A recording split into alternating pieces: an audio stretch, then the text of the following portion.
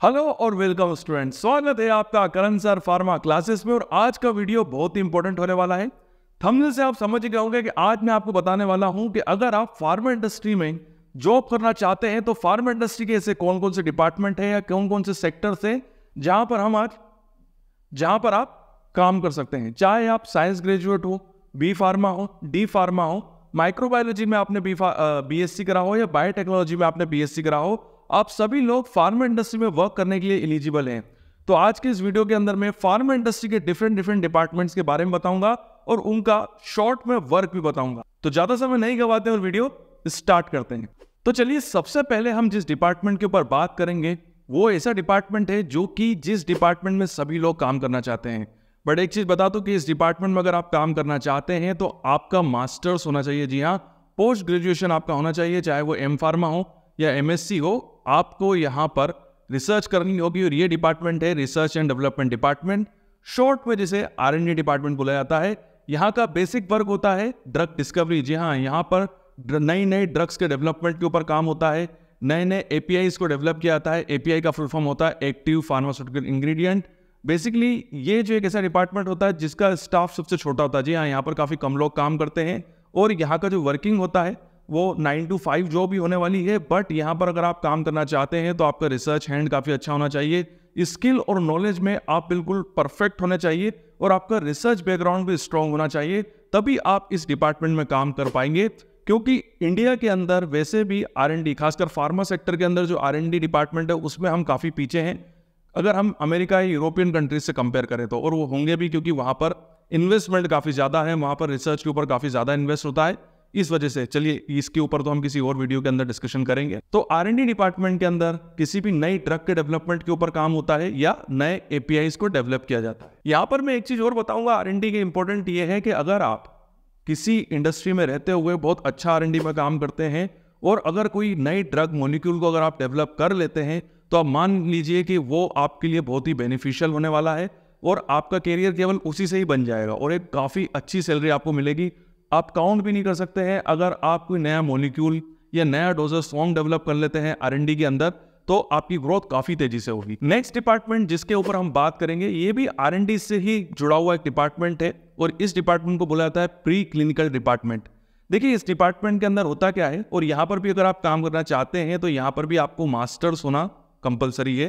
Pre clinical department में थोड़ा मैं आपको बता देता हूँ, उसके अंदर होता क्या है? देखिए, जब आरएनडी के अंदर कोई भी नया ड्रग मोलिक्यूल डेवलप किया जाता है या कोई भी नई ड्रग डोजेस फॉर्म को डेवलप किया जाता है तो उसको सीधे इंसानों के ऊपर टेस्ट नहीं किया जाता है। सबसे पहले उसकी एनिमल स्टडीज़ की जाती है। एनिमल्स के जो रिजल्ट्स आते हैं एनिमल्स मतलब चूहे हो गए, खरगोश हो गए, इनके ऊपर ड्रग्स की टेस्टिंग की जाती है और उनके रिजल्ट्स के बेसिस पे फिर हम इंसानों के ऊपर ड्रग की टेस्टिंग करते हैं। तो ये वो डिपार्टमेंट होता है जिस, और इसी डिपार्टमेंट जी हाँ प्री क्लिनिकल डिपार्टमेंट के अंदर ही एनिमल्स के ऊपर ड्रग की टेस्टिंग की जाती है। तो यहाँ पर अगर आप काम करना चाहते हैं तो आपकी एनिमल जो हैंडलिंग होनी चाहिए, वो काफ़ी अच्छी होनी चाहिए। ज़्यादातर यहाँ पर जो लोग काम करते हैं, वो फार्माकोलॉजी से जुड़े हुए होते हैं और उनका एम फार्मा या जो मास्टर्स होता है, वो फार्माकोलॉजी से होता है, क्योंकि फार्माकोलॉजी से जुड़े हुए लोगों की एनिमल हैंडलिंग काफ़ी अच्छी होती है। तो काफ़ी अच्छा डिपार्टमेंट है आर से जुड़ा हुआ डिपार्टमेंट है और भारत के अंदर कुछ ऐसी फर्म भी हैं जो कि केवल यही काम करती है। जी हाँ भारत के अंदर ऐसी कई फर्म है जो केवल प्री क्लिनिकल ट्रायल्स ही करती हैं मतलब एनिमल स्टडीज़ ही करती हैं और ये इंडस्ट्रीज़ के लिए काम करती है। मतलब ये सेपरेट काम करती हैं। इंडस्ट्रीज़ को अगर प्री क्लिनिकल ट्रायल्स कराने होते हैं तो ये इनको कॉन्ट्रैक्ट दे देते हैं और वो उनके बेसिस पे प्री क्लिनिकल ट्रायल्स कर देते हैं और कंपनीज़ को रिज़ल्ट प्रोवाइड करा देते हैं। क्योंकि कंपनी को मतलब फार्मा कंपनी को अपना खुद का एक एनिमल एनिमल हाउस डेवलप करना, उनका रख रखाव करना काफ़ी ज़्यादा महँगा होता है। इसलिए कई फार्मा इंडस्ट्रीज़ जो होती है, वो प्री क्लिनिकल डिपार्टमेंट नहीं रखती हैं। बट इंडिया की जो बहुत बड़ी बड़ी इंडस्ट्रीज़ है जिनका आरएनडी सेक्टर काफ़ी बड़ा है आरएनडी डिपार्टमेंट काफ़ी डेवलप है, वो लोग अपने, ही, अपनी इंडस्ट्री के अंदर ही एनिमल स्टडीज़ करवाते हैं एनिमल हाउस रखते हैं। और एक चीज़ मैं आपको बता दूँ कि अगर भारत के अंदर अगर आपको एनिमल स्टडीज़ करनी है तो आपको सी P C S E A की परमिशन का लेना ज़रूरी है। Without C P C S E A की परमिशन के, आप भारत में एनिमल स्टडीज़ या एनिमल्स के ऊपर रिसर्च वर्क नहीं कर सकते। हैं C P C S E A Bharat के पर्यावरण मंत्रालय के अंतर्गत काम करने वाला एक कह सकते हैं कि एक डिपार्टमेंट है और उनकी अनुमति के बाद ही आप एनिमल स्टडीज़ या एनिमल्स के ऊपर रिसर्च वर्क कर सकते हैं। तो प्री क्लिनिकल डिपार्टमेंट्स में अगर आप काम करने की सोच रहे हैं तो आप इंडस्ट्री में भी कर सकते हैं और सेपरेट ऐसे कई आप गूगल के अंदर सर्च करेंगे तो आपको कई ऐसी कंपनीज़ मिलेंगी जो कि केवल प्री क्लिनिकल ट्रायल्स ही परफॉर्म करती हैं। तो इसके लिए इंपॉर्टेंट ये है कि आपकी एनिमल हैंडलिंग जो होगी ना वो काफ़ी अच्छी होनी चाहिए। उसके बाद जो तीसरा डिपार्टमेंट है, वो है क्लिनिकल डिपार्टमेंट ये भी आरएनडी से जुड़ा हुआ डिपार्टमेंट है और यहाँ पर नई नई ड्रग्स के क्लिनिकल ट्रायल्स को परफॉर्म किया जाता है। यहाँ पर भी अगर आप काम करना चाहते हैं तो आपकी मास्टर्स का होना ज़रूरी है। मतलब आपको, आपके पास पोस्ट ग्रेजुएशन डिग्री अगर होगी, तभी आप क्लिनिकल डिपार्टमेंट में काम कर पाएँगे और यहाँ पर क्लिनिकल ट्रायल्स को परफॉर्म किया जाता है। क्लिनिकल ट्रायल्स का मतलब मैं ये बोलता हूँ कि नई ड्रग्स को, की जो टेस्टिंग होती है, वो ह्यूमंस इंसानों के ऊपर की जाती है। और ये कब होगी? जब आपके प्री क्लिनिकल ट्रायल्स के रिज़ल्ट अच्छे आते हैं सेटिस्फैक्ट्री आते हैं, तब जाके हम नई ड्रग की जो टेस्टिंग है, वो इंसानों के ऊपर करते हैं। देखिए, एक चीज़ मैं आपको बताना चाहता हूँ। यहाँ पर मैंने आपको बताया कि क्लिनिकल ट्रायल्स के ऊपर डिपार्टमेंट होता है, इसे हम क्लिनिकल डिपार्टमेंट कहते हैं। क्लिनिकल ट्रायल्स क्या होते हैं और कैसे परफॉर्म किए जाते हैं, इसके ऊपर मेरा एक सेपरेट वीडियो है, जहाँ पर मैंने क्लिनिकल ट्रायल्स की सारी स्ट्रेसेस को बहुत ही सिस्टमेटिक वे में बताया है। एक चीज़ मैं और आपको बताना चाहता हूँ कि जैसे मैंने आपको बताया कि क्लिनिकल ट्रायल्स का मतलब होता है नई ड्रग की टेस्टिंग करना ह्यूमंस के ऊपर। जी हाँ ये तो एक टाइप नहीं बट क्लिनिकल ट्रायल्स के बहुत सारे टाइप होते हैं, ये अलग अलग टाइप से परफॉर्म किया जाता है, केवल नई ड्रग्स में ही क्लिनिकल ट्रायल्स को परफॉर्म नहीं किया जाता है। अलग अलग नई नई चीज़ों को जब फार्मा सेक्टर के अंदर डेवलप किया जाता है तो उनके ट्रायल्स को भी क्लिनिकल ट्रायल बोला जाता है। अगर आप क्लिनिकल ट्रायल्स के टाइप्स को जानना चाहते हैं तो उसके ऊपर भी मेरा एक सेपरेट वीडियो पहले से आ चुका है तो वो वीडियो देख के आप क्लिनिकल ट्रायल्स के टाइप्स को समझ सकते हैं। चलिए अब हम अगले डिपार्टमेंट की बात करते हैं। बहुत ही इंपॉर्टेंट डिपार्टमेंट है। अगर आपको इसमें जॉब मिल जाती है तो मान लीजिए कि आपको कहीं जाने की ज़रूरत नहीं है, आपकी लाइफ सेट है। ये डिपार्टमेंट है रेगुलेटरी अफेयर्स डिपार्टमेंट देखिए रेगुलेटरी अफेयर्स डिपार्टमेंट क्या होता है, थोड़ा सा मैं आपको बता देता हूँ। जहाँ वर्ड रेगुलेटरी आ जाता है, उसका मतलब है कि गाइडलाइन देखिए फार्मा इंडस्ट्रीज़ जो होती है, वो अलग अलग गाइडलाइंस को फॉलो करती है। एग्ज़ाम्पल के लिए मान लें कि अगर हमको भारत के अंदर ड्रग का प्रोडक्शन करना है, और भारत में ही हमको हमारी ड्रग बेचनी है तो भारत की जो स्वास्थ्य मंत्रालय है उसके अंदर एक डिपार्टमेंट आता है जिसे हम सिडिस्को कहते हैं। ये सिडिस्को भारत में बनने वाली और बिकने वाली ड्रग्स को कंट्रोल करता है। मतलब अगर हमको भारत के अंदर ड्रग को बनाना है और बेचना है तो हमको सिटिस्को के दिए हुए रूल्स को फॉलो करना होगा। उसी तरीके से अगर अमेरिका में अगर ड्रग को बेचना है तो हमको यूएस एफ़ से अनुमति लेनी होगी। उसी तरीके से अगर हमको ब्रिटेन में ड्रग को बेचना है तो हमको एम से अनुमति लेनी होगी। मतलब जो फार्मा इंडस्ट्रीज़ होती है ना, वो इन डिफरेंट डिफरेंट गाइडलाइंस को फॉलो करती है।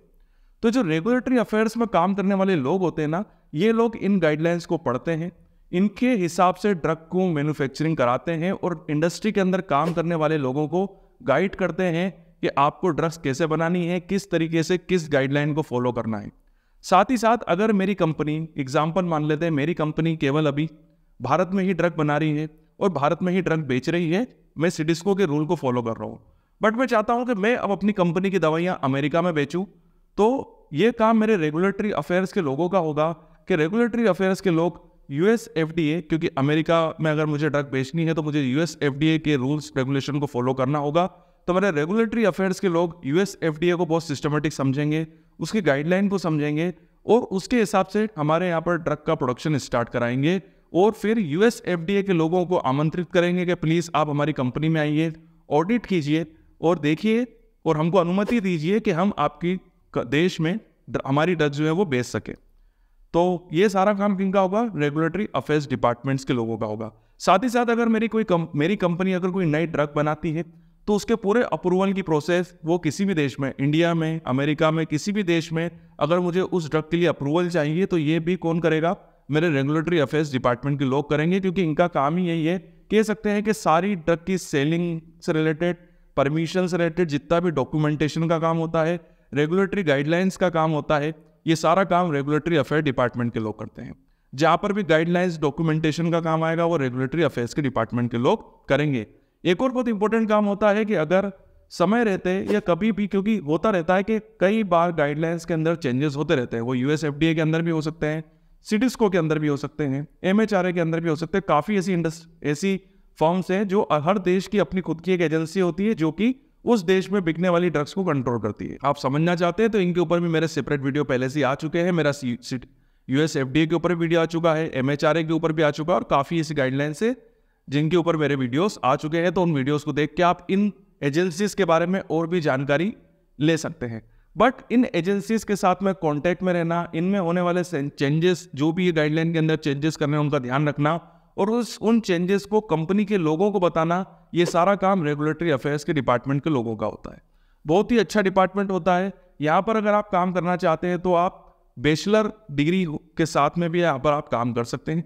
मतलब अगर आप अंडर ग्रेजुएट भी हैं तो आप इस डिपार्टमेंट में जॉब आपको मिल सकती है। बट अगर आपके पास मास्टर्स होगी, खासकर क्वालिटी एश्योरेंस डिपार्टमेंट से, ये डी आर एस है जी हाँ रेगुलेटरी अफेयर्स के ऊपर भी एम फार्मा होता है मास्टर्स होती है। अगर आप इस पर्टिकुलर स्पेसिफिक डिपार्टमेंट से अगर आप एम फार्मा होंगे तो आपको काफ़ी अच्छी चांसेस होगा कि आपको इस डिपार्टमेंट में जॉब मिल जाए, जिसे हम डी आर ए एक कोर्स होता है हमारे यहाँ एम फार्मा की एक डिग्री होती है। अगर आप डी आर ए से एम फार्मा कर लेते हैं तो आपके काफ़ी अच्छे चांसेस है कि आपको रेगुलेटरी अफेयर डिपार्टमेंट में जॉब मिल जाए।